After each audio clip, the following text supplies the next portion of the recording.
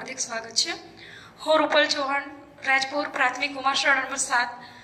આપનું હાર્દિક સ્વાગત કરું છું. આજે હું તમને ધોરણ છ, પાઠ નંબર વિજ્ઞાન, પાઠ નંબર બે, આહારના ઘટકો વિશે કેટલીક માહિતી આપીશ. આ અગાઉના સેશનની અંદર તમે આહારના ઘટકો વિશે ભણી ગયા છો. આહાર કોને કહેવાય છે? તો આપણે જે ખોરાક તરીકે ઉપયોગ કરીએ છીએ એને આહાર કહીએ છીએ. આ આહારની અંદર જુદા જુદા ઘટકો રહેલા છે. આપણે અગાઉ ભણી ગયા છીએ કાર્બોદિત, ચરબી, પ્રોટીન, વિટામિન, ખનિજ ક્ષારો અને પાણી. આ બધા જ ઘટકો આપણને જુદી જુદી વસ્તુઓમાંથી મળે છે. દાખલા તરીકે કાર્બોદિત છે, તો આપણને અનાજ અનાજમાંથી મળશે, ગોળ છે, એ બધી વસ્તુઓમાંથી આપણને મળશે. ચરબી જે છે, તો તેલીય પદાર્થોમાંથી ઘી, તેલ વગેરેમાંથી મળશે. પ્રોટીન જે છે, તો દૂધ અને કઠોળમાંથી મળે છે, વિટામિન્સ, ખનિજ ક્ષારો આપણને લીલા પાંદડાવાળા શાકભાજીમાંથી મળે છે. તો આ બધા જ આહારનો આપણે ઉપયોગ કરીએ છીએ. તો એની અંદર બધા જ પોષક તત્વો આપણને મળી રહે છે. હવે મિત્રો, આપણે એવો આહાર પસંદ કરીએ કે જેમાં બધા જ પોષક ઘટકો હોય, તો એવા આહારને આપણે સમતોલ આહાર તરીકે ઓળખીએ છીએ. હવે અહીંયા આપણને પેલો અહીંયા પ્રશ્ન થશે કે સમતોલ આહાર એટલે શું? તો જે આહારમાંથી આપણા શરીરને જરૂરી એવા બધા જ પોષક ઘટકો મળી રહે છે, તેવા આહારને સમતોલ આહાર તરીકે ઓળખીએ છીએ. અહીંયા એક ઉદાહરણ છે દૂધ.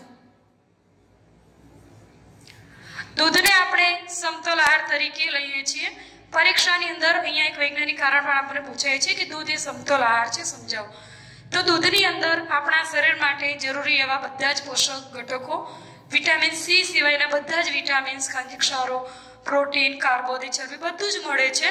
માટે દૂધ એ સંપૂર્ણ આહાર છે. હવે અહીંયા બીજો આપણને પ્રશ્ન થાય કે શું બધા જ એક જ સરખી વય જૂથના જે લોકો છે, એમને એક જ સરખો ખોરાકની જરૂર પડતી હશે? દાખલા તરીકે બે વ્યક્તિ છે પાંત્રીસ વર્ષની ઉંમરના. એક વ્યક્તિ ઓફિસમાં ખુરશી ઉપર બેસીને કામ કરે છે. અને બીજો જ એ ઉંમરનો જ વ્યક્તિ છે, એ ખેત મજૂરી કરે છે અથવા તો મજૂરી કામ કરે છે, એના શરીરને શ્રમ પડે એવું કામ કરે છે. તો શું એ બંનેના ખોરાકની જરૂરિયાત એક જ સરખી હશે? ના મિત્રો. જે ઓફિસમાં ખુરશી પર બેસીને કામ કરે છે, એનામાં એને ખૂબ જ હળવો ખોરાક જોઈશે અને જે વ્યક્તિ શ્રમ કાર્ય કરે છે, એને થોડો ભારે ખોરાકની જરૂર પડશે. કારણ કે બંને વ્યક્તિની સરખામણીમાં જે બીજા નંબરની વ્યક્તિ છે, એને શક્તિની વધારે જરૂર પડે છે, કારણ કે એનું શ્રમ કાર્ય વધારે છે. તો ખોરાકની જે જરૂરિયાત છે, એ એક જ સરખા વે જૂથના વ્યક્તિની દરેકની જુદી જુદી છે. ખોરાકનો આધાર એ જે કાર્ય કરે છે, એ એના કાર્ય ઉપર ઘણો જ આધાર રાખે છે. હવે, વિદ્યાર્થી મિત્રો, તમારે તમારી નોટબુકની અંદર એક પ્રવૃત્તિ કરવાની છે અને લખવાની પણ છે. અઠવાડિયાની અંદર તમારા ઘરમાં જે વાનગી બને છે, એ વાનગીની તમારે યાદી તૈયાર કરવાની છે. એમાં તમે ત્રણ કોલમ ત્રણ ખાના બનાવશો. વાર, બનતી વાનગી અને તેમાંથી મળતા પોષક ઘટકો. તો જુદા જુદા તમે સોમવારે દાખલા તરીકે તમે લખશો સોમવાર, તો સોમવારની અંદર આપણા ઘરમાં બનતી કોઈ વાનગી છે, શાક, રોટલી છે, દાળ ભાત છે, ખીચડી, કઢી છે, ભાખરી છે, જે કંઈ આપણા ઘરમાં ખોરાક બને છે. એ ખોરાકને આપણે લખીશું અને એમાંથી કયો ઘટક મળે છે તો આપણે આગળના સેશનમાં ભણી ગયા છીએ કે જો આપણા ખોરાકમાં આપણે ભાત છે, ચોખાનો ઉપયોગ કરીશું ઘઉંની રોટલીનો ઉપયોગ કરીશું, તો આપણને કાર્બોદિત મળવાનું છે. એની અંદર જો આપણે દાળનો ઉપયોગ કરીશું, તો આપણને પ્રોટીન મળવાનું છે. એમ જુદા જુદા પોષક ઘટકો મળશે. તો આવી અઠવાડિયાની અંદર આપણે આપણા ઘરમાં જે બનતી વાનગી છે, એનો આપણે એક ચાર્ટ તૈયાર કરવાનો છે. અને આ ચાર્ટ બનાવ્યા પછી નોટબુકમાં લખી અને આપણે જ્યારે સ્કૂલ ચાલુ થાય ત્યારે આપણા વર્ગ શિક્ષકને આપણે એને બતાવવાનું છે. હવે એના પછીનો આપણે એવું વિચારીએ કે આટલા બધા પોષક ઘટકો મળે છે, તો આપણે જે આપણું જે ખાવાનું જે મેનુ બનાવીએ છીએ, તે ખૂબ જ ખર્ચાળ હશે ના મિત્રો? એવું નથી. આપણા આપણા ખોરાકની અંદર કઠોળ, મગફળી, કઠોળ છે, મગફળી છે, સોયાબીન છે પછી આથાવાળો ખોરાક, દાખલા તરીકે સાઉથ ઇન્ડિયન છે કે ઇડલી છે, ઢોકળા છે આ બધી વસ્તુઓનો આપણે સમાવેશ કરી શકીએ. જુદા જુદા લોટમાંથી બનતી બનતી વાનગી જે છે, ઘઉં, મકાઈ, બાજરી, બરાબર છે જુદા જુદા મિક્સ લોટનો ઉપયોગ પણ આપણે કરી શકીએ છીએ. અત્યારે ની સિઝન જે છે તો કેળા સૌથી વધારે આપણને બજારમાં જોવા મળે છે તેનો આપણે ખાવામાં ઉપયોગ કરી શકીએ. નાના બાળકોને સૌથી વધારે ભાવે છે દાળિયા. તો દાળિયાનો પણ આપણે ઉપયોગ કરી શકીએ છીએ. અને એના પછી જે મીઠો ગોળ ગોળ આપણા બાળકોને બહુ જ ભાવે છે. તો ગોળનો પણ સમાવેશ જો આપણે ખોરાકની અંદર કરીએ, ગોળની અંદર ખૂબ જ પુષ્કળ પ્રમાણમાં ખનિજ ક્ષારો, ખૂબ જ મિનરલ્સ આવેલા છે, જે આપણા હાડકા માટે ખૂબ જ જરૂરી છે. અને જુદા જુદા લીલા પાંદડાવાળા શાકભાજી. અત્યારે તમને મમ્મી જુદા જુદા પ્રકારના શાક બનાવે છે. તો બાળકોને મોટાભાગે એક જ શાક ભાવે છે બટેટાનું શાક. પણ જો તમે રોજે રોજ ખાલી બટેટાનું શાક ખાશો, તો જે લીલા પાંદડાવાળા જે બીજા શાકભાજી છે, કે જેની અંદર વિટામિન્સ અને ખનિક ક્ષારો રહેલા છે, એ આપણને મળતા નથી. તો આપણે આપણા શાકભાજી, જુદા જુદા શાકભાજીનો આપણે એમાં ઉપયોગ કરવો જોઈએ. એના પછી છે, તો આ બધા જ વસ્તુઓનો આપણે આપણા ખોરાકની અંદર ઉપયોગ કરી અને એક સમતોલ આહાર તૈયાર કરી શકીએ છીએ. એવું જરૂરી નથી મિત્રો કે ખર્ચાર ખોરાક જ સમતોલ ખોરાક હોઈ શકે. આપણે આપણા બજેટ પ્રમાણે આ ખોરાકનો ઉપયોગ કરી શકીએ છીએ. નાના બાળકો અત્યારે તૈયાર ફૂડ પેકેટ જે આવે છે, વેફર છે જે તૈયાર દુકાનમાં મળતા જે પેકેટ છે, તો એનો સૌથી વધારે ઉપયોગ કરે છે. પણ મિત્રો, ધ્યાન રાખજો કે તૈયાર જે ફૂડ પેકેટ છે, જે વેફર છે, કે જે કંઈ તમે ખાઓ છો, એની અંદર ફક્ત ને ફક્ત ચરબી જોવા મળે છે. એ આપણા શરીર માટે પૂરતા પ્રમાણમાં આપણને શક્તિ, આપણને પોષક ઘટકો મળે એવા જરૂરી હોતા નથી. આપણા માટે ખૂબ જ નુકસાનકારક છે. હવે એના પછીનો આપણને એ પ્રશ્ન થાય કે આપણે બધા જ ખોરાકનો પૂરતા પ્રમાણમાં ઉપયોગ કરીએ છીએ. એમ છતાં પણ કેટલીક વખતે આપણા શરીરની અંદર કેટલાક રોગ થાય છે, કેટલીક વિકૃતિ થાય છે. જે પોષક ઘટકો આપણા શરીરને પૂરતા પ્રમાણમાં મળવા જોઈએ, એ મળતા નથી. તો એનું કારણ શું હોઈ શકે? તો હવે એના પછીનો જે ટોપિક છે કે આહારમાં રહેલા જે પોષક ઘટકો છે, એ કેવી રીતે નાશ પામે છે? તો એનું પહેલું કારણ છે મિત્રો, કે ખોરાકને વધારે પડતું રાંધવામાં આવે છે. દાખલા તરીકે આપણા ઘરમાં સવારે કોઈ વાનગી બની છે, તો આપણા ઘરના જુદા જુદા સભ્યોને જુદા જુદા સમયે ખાવાનો સમય હોય. તો એને દિવસમાં બેથી ત્રણ વખત આપણે એને ગરમ કરીએ છીએ. શાક બનેલું હોય સવારનું. તો પપ્પાને ઓફિસે જવાનું મોડું થતું હોય ગરમ કરીએ. એના પછી બપોરે આપણે ઘરના બીજા સભ્યોને ખાવું છે તો ગરમ કરીએ છીએ. તો આવી રીતે એકની એક જ વાનગી, એક કરતાં વધારે વખતે વારંવાર જો એને ગરમ કરવામાં આવશે, એ વધારે પડતી જો એને રાંધવામાં આવશે, તો એમાં રહેલા જે વિટામિન્સ છે, ખનિજ ક્ષારો છે એના એમાં રહેલા જે બધા જ પોષક તત્વો છે, એ નાશ પામે છે. માટે મિત્રો આપણે ખોરાકનો વધારે પડતો રાંધવો, વારંવાર એને ગરમ કરવું જોઈએ નહીં. એના પછી બીજું કારણ છે કે આપણે જે ફળો અને શાકભાજીનો ઉપયોગ કરીએ છીએ, તો એનો ઉપયોગ કરતી વખતે આપણે મોટા ભાગે શું કરીએ છીએ, તો એની છાલને ફેંકી દઈએ છીએ. દાખલા તરીકે આપણે સફરજન કે જમરૂક છે, એવા કોઈ ફળો આપણે ખાતા હશું તો આપણે એની છાલને ફેંકી અને પછી આપણે એને ખાઈએ છીએ. તો આ જે શાકભાજી અને ફળોની જે છાલ છે, એની અંદર મોટા ભાગના જે ફાઈબર જે રેસા છે, એ આપણા શરીર માટે ખૂબ જ જરૂરી છે. તો એ ફાઈબર જે છે, એ એની અંદર રહેલા કેટલાક ખનિજ ક્ષારો, વિટામિન છે, એને આપણે ફેંકી દઈએ છીએ મિત્રો. એ વસ્તુનો આપણે પૂરેપૂરો આપણા શરીર માટે ઉપયોગ કરી શકતા નથી. તો આ રીતે આપણે જે ખોરાક ખાઈએ છીએ, એના પોષક ઘટકો આપણે દૂર કરીએ છીએ. તો મિત્રો, હવે પછી આપણે વસ્તુની ધ્યાન રાખવાની છે કે આપણે જ્યારે શાકભાજી અને ફળોનો જ્યારે આપણે ખોરાક તરીકે ઉપયોગ કરતા હશું, તેને બરાબર ધોઈ અને ધોયા પછી શક્ય હોય તો છાલ સાથે એનો ઉપયોગ કરવાનો પ્રયત્ન કરીશું. ત્રીજો મુદ્દો છે, દાળ અને ચોખાને વારંવાર ધોવાથી.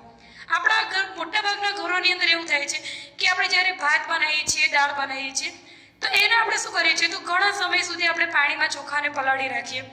ભાત બનાવતી વખતે, ભાત બન્યા પછી એનું જે ઓસામણ છે, એમાં ઉપયોગમાં લીધેલું પાણી જે છે, એને આપણે ફેંકી દઈએ છીએ. તો આવું કરવાને લીધે કેટલાક વિટામિન એવા છે કે જે જલ દ્રાવ્ય છે. તો આવા જે જલદ્રવ્ય વિટામિનો છે, એ પાણીની, પાણીને ફેંકી દેવાથી એની સાથે નીકળી જાય છે. તો આપણે એનો ઉપયોગ કરીએ છીએ, એ આપણા શરીરને પૂરતા પ્રમાણમાં પોષક ઘટકો મળતા નથી.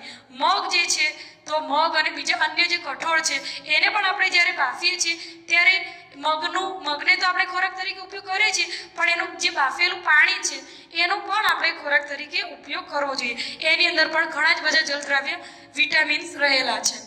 એના પછી જે રાંધવાની અંદર વધુ પડતું પાણી ઉપયોગમાં લો છો અથવા ફેંકી દો છો. દાખલા તરીકે આપણે પ્રેશર કુકરમાં ખાવાનું બનાવતા હોઈએ અને તપેલીમાં તમે સાદા વાસણમાં બનાવો છો. તો પ્રેશર કુકરની અંદર જો તમે વધારે પડતું પાણી લેશો, તો તમે સ્વાદમાં પણ જોઈ શકો છો મિત્રો કે સ્વાદમાં પણ ઘણો બધો ફેર પડે છે. અને એની અંદર જે ખૂબ જ પ્રેશરથી જે ખોરાક રંધાય છે, તો એની અંદર પણ મોટા ભાગના જે ખનિજ તત્વો જે છે, પોષક ઘટકો છે એ દૂર થઈ જાય છે. માટે શક્ય હોય તો આપણે દાળ કે ચોખાનો જ્યારે ઉપયોગ કરીએ છીએ, ત્યારે એનો, એનું જે પાણીને ન ફેંકી દેતા, એ પાણીનો આપણે ઉપયોગ પણ કરીએ, જેથી આપણને પોષક તત્વો પૂરતા પ્રમાણમાં મળી રહે. હવે, મિત્રો, અહીંયા એક વ્યક્તિ આપેલું છે પૂજો પૂજો એવું વિચારે છે કે કાર્બોદિતની સરખામણીમાં ચરબીમાં વધારે પ્રમાણમાં શક્તિ રહેલી છે.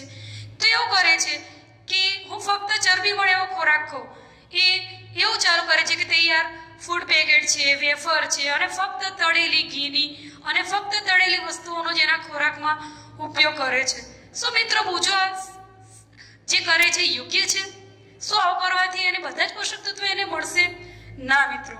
આવું પૂજો કરે છે તો એવું કરવાથી એને એક જ પરિણામ આવે છે કે વધારે પડતી ચરબીનો આપણે ઉપયોગ કરીએ છીએ, ચરબીયુક્ત આહારનો. તો આપણા શરીરની અંદર કેટલાક રોગો અને કેટલીક વિકૃતિનો ભોગ બન- બનીએ છીએ. વધારે પડતી ચરબીનો જો આપણા ખોરાકની અંદર ઉપયોગ કરવામાં આવે, તો આપણા શરીરની અંદર મેદસ્વીતાનું કારણ બને છે અને મેદસ્વીતાને લીધે આપણા વજનમાં વધારે, વધારો થવો આપણા શરીરની વિકૃતિ થાય છે. જેમ કે આપણું પેટ આગળ આવી જવું, તો આપણા શરીરની રોગ અને વિકૃતિઓ ઘણી બધી એના લીધે પેદા થાય છે. માટે મિત્રો, આપણે એક જ પ્રકારના પોષક ઘટકોનો ખોરાકની અંદર ઉપયોગ ન કરવાને બદલે આપણે એવો ખોરાક પસંદ કરીએ કે જેની અંદર બધા જ પોષક તત્વો રહેલા હોય. દરેક પોષક તત્વોની જરૂરિયાત મિત્રો વધારે પડતી નથી કે ઓછી પણ નથી. દરેકની જરૂરિયાત પૂરતા પ્રમાણમાં છે. કોઈ પણ પોષક ઘટકો નો એકદમ વધારે પડતો પણ ઉપયોગ ન કરવો જોઈએ કે એકદમ ઓછો પણ એનો ઉપયોગ કરવો જોઈએ નહીં. હવે એના પછી આપણે જે મુદ્દો આપણો ત્રુટિજન્ય રોગો. તો આ ત્રુટિજન્ય રોગો કોને કહેવાય એ આપણે જોઈએ. આપણે હાલ જ વાત કરી કે બધા જ પોષક તત્વો આપણા શરીરને મળવા ખૂબ જ જરૂરી છે. હવે આ બધા જ પોષક તત્વોમાંથી જો એક પણ પોષક તત્વની આપણા શરીરની અંદર ઉણપ થશે, તો એના લીધે આપણે કેટલાક રોગોનો ભોગ બનીશું. તો પહેલી વ્યાખ્યા આપણને આપેલી છે કે ત્રુટિજન્ય રોગો કોને કહેવાય છે? તો એવા રોગો કે જે પોષક તત્વોના લાંબા સમય સુધીના અભાવને કારણે આપણને થાય છે. તો એવા રોગોને આપણે ત્રુટિજન્ય રોગો તરીકે ઓળખીએ છીએ. આ ત્રુટિજન્ય રોગો કયા કયા છે? તો દાખલા તરીકે આપણે પહેલી જ વાત કરીએ, આપણો જે આહારનો ઘટક હતો કે પ્રોટીન. તો પ્રોટીન જો આપણે લાંબા સમય સુધી આપણા શરીરને ન મળે, તો એની ઉણપથી આપણા શરીરમાં કયા કયા ઉદ્ભવ, કયા કયા રોગોનો ઉદ્ભવ થાય છે? તો પહેલું થાય છે કે આપણા શરીરની જે વૃદ્ધિ જે છે, એ કુંઠિત થઈ જાય છે. પૂરતા પ્રમાણમાં આપણા શરીરનો જે વિકાસ થવો જોઈએ, આપણું વજન છે, ઊંચાઈ છે, જે રીતે આપણે વૃદ્ધિ થવી જોઈએ, એ પૂરતા પ્રમાણમાં થઈ શકતી નથી. ચહેરો ફૂલી જવો, આપણા જે વાળ છે, એ વાળનો રંગ ફીકો થઈ જવો, ત્વચાના રોગ થવા, જુદા જુદા ચામડીના રોગો થાય છે. તમે ઘણી વખત જોવો છો કે ઘણી વખત ચામડીની અંદર સફેદ કલરના ઝીણા ઝીણા જે ડાઘ થતા હોય છે અથવા તો કોઈ પણ પ્રકારના જે ચામડીની જે વિકૃતિ છે, એના માટે પણ આપણા શરીરમાં પ્રોટીનની ઉણપ જવાબદાર હોઈ શકે છે અને કેટલાક સંજોગોમાં ઝાડા પણ થઈ જાય છે. એના પછી જે જો પ્રોટીન અને કાર્બોદિતની વધુ પડતી કમી હોય, તો માણસની વૃદ્ધિ સંપૂર્ણ અટકી જાય છે. માણસની વૃદ્ધિ સંપૂર્ણ અટકી જાય એના લીધે એનું વજનમાં યોગ્ય વધારો ના થાય. એ વ્યક્તિ ખૂબ જ અશક્ત થઈ જાય છે. ચાલી શકવા માટે પણ સક્ષમ રહેતી નથી અને ખૂબ જ દુબળી પાતળી થઈ ગયેલી આપણને જોવા મળે છે. એના પછી જે જે આપણા શરીરમાં કેટલાક વિટામિન્સ છે, આપણે આગળ ભણી ગયા છે vitamin A, vitamin B, vitamin C, vitamin D, E, આ બધા જ વિટામિન વિશે આપણે આગળ ભણી ગયા છે તો આ બધા વિટામિન જે છે અને એ ઉપરાંત જે ખનિજ ક્ષારો છે, કેલ્શિયમ, આયર્ન, તો આ બધા જે ખનિજ ક્ષારો છે, તો એના અભાવથી પણ આપણને કેટલાક રોગ જોવા મળે છે, જે આપણે અહીંયા જોઈએ. અહીંયા મિત્રો, તમને કોષ્ટક બતાવેલું છે. આપણે જે વિજ્ઞાની પાઠ્યપુસ્તક છે, એમાં કોષ્ટક નંબર બે પોઈન્ટ ત્રણ આપ જોઈ શકો છો. તો પહેલું પણ આવેલું છે વિટામિન એ. તો આપણને વિટામિન એ ની ઉણપથી શું તકલીફ થાય છે?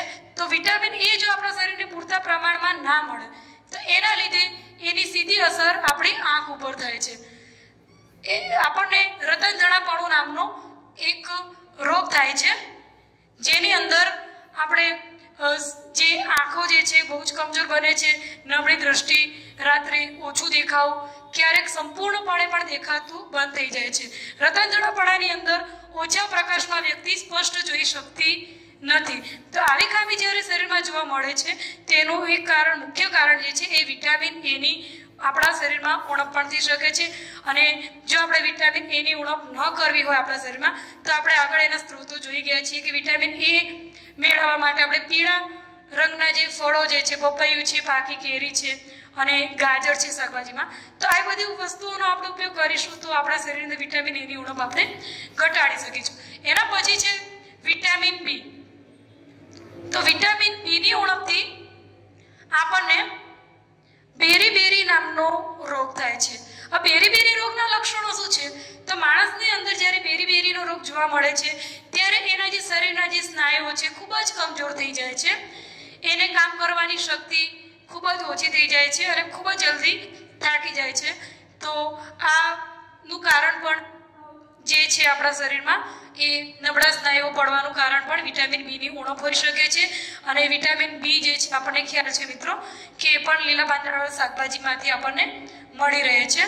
એના પછી છે વિટામિન સી તો વિટામિન સીની આપણા શરીરમાં ઉણપ થાય છે. તો એના લીધે આપણને સ્કર્વીનો રોગ થાય છે. સ્કર્વીના લક્ષણો આપણને આપેલા છે. પેઢામાંથી લોહી નીકળવું. આપણા દાંતના જે પેઢા છે, એમાંથી લોહી નીકળે છે. આપણને જ્યારે કોઈ ઈજા થઈ હોય, કોઈ વાગી હોય, તો આપણને ઘા પડ્યો હોય, તો એ ઘામાંથી આપણને જલ્દી રોજ નથી આવતી. તો એનું પણ એક કારણ વિટામિન સીની ઉણપ આપણા શરીરમાં હોઈ શકે છે. એના પછી છે વિટામિન ડી. તો વિટામિન ડીની ઉણપથી આપણને સુક્તાન નામનો રોગ જોવા મળે છે. આ રોગ જે છે એ મોટા ભાગે નાના બાળકોમાં જોવા મળતો રોગ છે. આ રોગ જ્યારે થાય છે ત્યારે એની સીધી અસર આપણા શરીરના હાડકા ઉપર થાય છે. તો શરીરના જે હાડકા જે છે ખૂબ જ નાજુક બની જાય છે, હાડકા બરડ બની જાય છે. નાના બાળકોના જે પગ જે છે કમાન આકારે વળી જાય છે નીચેના નીચેના ભાગમાં. તો આ થવાનું કારણ પણ આપણા શરીરમાં વિટામિન ડીની ઉણપ હોઈ શકે છે. અને જો વિટામિન ડીની ઉણપ હોય, તો વિટામિન ડીનો જે છે, એ મુખ્ય સ્ત્રોત છે સૂર્યનો તડકો. સવારે વહેલા સૂર્યનો જો કુમળો તડકો આપણા શરીર ઉપર પડે, જો આપણે તડકો લઈએ, તો એના લીધે આપણા શરીરમાં વિટામિન ડી ઉત્પન્ન થાય છે અને જેના લીધે આપણે આ બીમારીને થોડા ઘણા અંશે દૂર કરી શકીએ છીએ. એના પછી ત્રણ ખનિજ ક્ષારો આપણને આપેલા છે. પહેલો છે કેલ્શિયમ. તો આ કેલ્શિયમની જો આપણા શરીરમાં લાંબા રહે તો આપણા શરીરની અંદર સીધી એની અસર આપણા હાડકા અને આપણા દાંત ઉપર જોવા મળે છે. જો આપણા શરીરમાં કેલ્શિયમ પૂરતા પ્રમાણમાં હોય તો આપણા દાંત અને હાડકા મજબૂત બને છે. પણ જો આ કેલ્શિયમની ઉણપ આપણા શરીરમાં આવશે, તો આપણા દાંત અને હાડકાનો કોહવાટ થાય છે. તમે જોયું હશે કે નાના બાળકોના જે દાંત છે, એ ખૂબ જ ઝડપથી એમાં સોડો આવે છે, દાંત સડી જાય છે. તો દાંત સડવાનું એક કારણ આપણા શરીરમાં કેલ્શિયમની ઉણપ હોઈ શકે છે. એના પછીનો જે ખનિજ છે, એ છે આયોડિન. તો આયોડિનની ઉણપથી શું થાય છે? તો આયોડિનની ઉણપથી આપણા ગળામાં આવેલી જે ગ્રંથિ જે છે, કે એ ગ્રંથિની અંદરથી, ગ્રંથિમાં ફૂલી જાય છે એમાં દુખાવો થાય છે અને ગળાના ભાગે ગાંઠ જોવા મળે છે. એને ગોઈટરની ગાંઠ તરીકે ઓળખીએ છીએ તો એ થવાનું કારણ પણ આયોડિન છે. બીજી આયોડિન ઉણપથી જે બાળકો જે છે, એ બાળકોની અંદર માનસિક મંદતા આવે છે. માનસિક મંદતા એટલે બાળકનો જે ઉંમર પ્રમાણે જેનો વિકાસ થવો જોઈએ, એ વિકાસ થતો નથી. તો એમનામાં ઉંમર પ્રમાણે એનો જે માનસિક વિકાસ છે, થોડો આપણને ધીમો જોવા મળે છે. તો એ બાળકોમાં માનસિક મંદતા આવવાનું એક કારણ આ આયોડિનની ખામી પણ હોઈ શકે છે. હવે આયોડિનનો મુખ્ય સ્ત્રોત આપણે બધા જાણીએ છીએ, એ છે આપણા રોજિંદા ખોરાકમાં લેવામાં આવતું મીઠું. તો આપણે આયોડિન યુક્ત મીઠાનો જો ખોરાક તરીકે ઉપયોગ કરવામાં આવે, તો એમ આપણા શરીરમાં આયોડિન પૂરતા પ્રમાણમાં મળી રહે છે અને આપણે આના જે ઘટ છે, પોષક દ્રવ્યની, એને આપણે થોડા ઘણા અંશે દૂર કરી શકીએ છીએ. અને છેલ્લો આપણો ખનિજ ક્ષાર છે, એ છે આયર્ન તો આયર્નની ઉણપથી આપણા શરીરની અંદર એનિમિયા નામનો રોગ છે, રોગ થાય છે. એનિમિયાનું બીજું નામ છે પાંડુ રોગ. તો પાંડુ રોગ આપણા શરીરમાં થાય છે. અને એના લીધે શું થાય છે? તો આપણા શરીરમાં નબળાઈ જોવા મળે છે. આ દરેક રોગના જે છે એ આપણને અહીંયા આગળ બતાવવામાં આવેલા છે. અહીંયા તમે જોઈ શકો છો કે આપણે જે વાત કરી હતી આગળ કે વિટામિન બીની ઉણપથી આપણને બેરી બેરી નામનો જે રોગ થાય છે, તમને અહીંયા ચિત્ર બતાવવામાં આવેલું છે, જુદા જુદા રોગનું. આપ જોઈ શકો છો. તો બેરી બેરી રોગમાં આપણે આગળ વાત કરી હતી કે શરીરના સ્નાયુઓ ખૂબ જ કમજોર બને છે, વ્યક્તિ ચાલો પણ અશક્ત બને છે, એમનામાં જલ્દી થાક ઉત્પન્ન થાય છે. તો અહીંયા ચિત્રની અંદર તમે જોઈ શકો છો કે ચિત્ર તમને બાળકનું આપેલું છે. તો એના જે પગના જે સ્નાયુઓ છે, એ આપણે થોડા દબાઈએ છીએ તો તમે જો એ ચિત્રમાં આપેલા છે કે એ ઘણા બધા આપણને એના પગના સ્નાયુઓ ખૂબ જ કમજોર આપણને અહીંયા જોવા મળે છે. એના પછી છે સ્કર્વી. હાલ આપણે જોયું હતું કે વિટામિન સી ની જો આપણા શરીરમાં ઉણપ થાય તો સ્કર્વી નામનો રોગ થાય છે અને સ્કર્વીના લક્ષણોમાં આપણે જોયા હતા કે દાંતની અંદર સડો થયો એ ચિત્રમાં તમે સ્પષ્ટ જોઈ શકો છો મિત્રો કે દાંતની અંદર સડો થયેલો છે બીજા ચિત્ર જેની નીચે આપેલું છે, એમાં દાંતની અંદર જે પેઢા છે, એ પેઢાના ભાગમાં લોહી નીકળતું જોવા મળે છે. જ્યારે વ્યક્તિ આ બીમારી થયેલું વ્યક્તિ જ્યારે બ્રશ કરશે, ત્યારે એના બ્રશની અંદર પણ લોહી નીકળે છે અને દાંતમાંથી, પેઢામાંથી લોહી જોવા મળે છે નીકળતું. તો આ જે સ્કર્વી છે, આ સ્કર્વીનો રોગ આપણને ન થાય, એના કરવું? તો આપણે આપણા ખોરાક જે છે, ખોરાકની અંદર જે વિટામિન સી નો જે મુખ્ય સ્ત્રોત છે, ખાટા ફળો. આ ખાટા ફળોનો આપણે આપણા ખોરાકની અંદર સમાવેશ કરી શકીએ છીએ. તો એ ખાટા ફળો દાખલા તરીકે લીંબુ છે, મોસંબી છે. તો આ બધા ખાટા ફળોનો આપણે આપણા ખોરાકમાં ઉપયોગ કરીશું. તો આપણા શરીરમાં વિટામિન સી જે છે પૂરતા પ્રમાણમાં મળી રહેશે. આ રીતે આપણે વિટામિન સીની ઉણપને દૂર કરી શકીએ છીએ અને જો આપણને વાગે અને ઘા પડે તો એમાં પણ ઝડપથી રૂજ આવી શકે. એના પછી આપણે વાત કરી હતી કે વિટામિન ડીની ઉણપથી. આપણને જે નાના બાળકોમાં જે રોગ થતો જોવા મળે છે, અહીંયા જે એના હાડકા છે, એ હાડકા ખૂબ જ નબળા પડી જાય છે વિટામિન ડીની ઉણપથી. હાડકા બરડ થઈ જાય છે. અને એના જે પગ જે છે, એ ઢીંચણથી નીચેના ભાગમાં જે છે, એ પોનીના ભાગમાં આખે આખા તમે જોઈ શકો છો બંને પગની તમે કમ્પેરિઝન તમે સરખામણી કરી શકો છો. તો બંને પગ જે છે, એ જે છે, તો એના જે પગ છે નીચેના ભાગમાં આખે આખા બીજી સાઈડ વળેલા છે. કમાન આકારે વળેલા છે. તો આ રીતે નાના બાળકોમાં વિટામિન ડીની ઉણપથી સુક્તાનો રોગ જોવા મળે છે. હવે આપણે વિટામિન ડીની ઉણપ ન કરવી હોય તો આપણે હમણાં જ જોઈ ગયા કે સૂર્યનો જે તડકો જે છે, એ પૂરતા પ્રમાણમાં જો આપણને મળશે આપણા શરીરને તો વિટામિન ડી આપણા શરીરમાં ઉત્પન્ન થાય છે, જેના લીધે આપણે આ આ ખામી જે છે એને થોડે ઘણા અંશે દૂર કરી શકીએ છીએ. એના પછી જે છે એનિમિયા તો એનિમિયાનો જે રોગ જે છે, એ આપણા તત્વમાં આપણા આયર્નની ઉણપથી થાય છે. અહીંયા તમે, તમારી આગળ બે ચિત્રો અહીંયા સ્પષ્ટ તમને દેખાય છે. તમે જોઈ શકો છો. કે અહીંયા એક નોર્મલ વ્યક્તિનું ચિત્ર છે અને એની બાજુમાં જે ચિત્ર છે એનિમિયા થયેલી વ્યક્તિનું જે ચિત્ર છે. તો બંનેની આંખોની સરખામણી આપણે કરી શકીએ છીએ કે નોર્મલ વ્યક્તિની સરખામણીમાં જે વ્યક્તિને એનિમિયાના લક્ષણો જોવા મળે છે. તો એની આંખ જે છે, એ આંખમાં પીળા એટલે કે ફિકસ જોવા મળે છે. એની જે જીભ છે, એ જીભ જીભ પણ સફેદ આપણને સાદી જોવા મળે છે. એના તમે નખ જુઓ.